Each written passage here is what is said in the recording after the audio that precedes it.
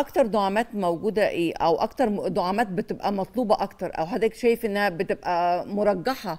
ممتاز. هو إحنا لما نقول في بلادنا إحنا على أساس إن دعامات الهيدروليك بتبقى غالية مكلفة شوية. مثلاً؟ آه, آه. آه. مكلفة. فبنقول المرنة هي الأكثر. لكن لما نيجي للتفضيل اللي هو على أساس علمي أو على حيثيات هنقول برضو المرنة هي الأفضل.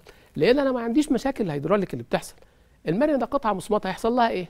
هحطها في الجسم تقعد مدى الحياة. بتوع كنت هسأل حضرتك. حضرتك جاوبتني على طول. بتقعد مدى, مدى الحياة؟ الحياة؟ آه.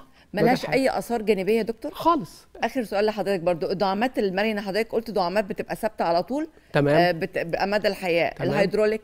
الهيدروليك مهما طورت فيها الشركات فالقطع. آه. الداخلية بتاعتها لأنها قطع مفرغة فوارد إن يحصل فيها تلف.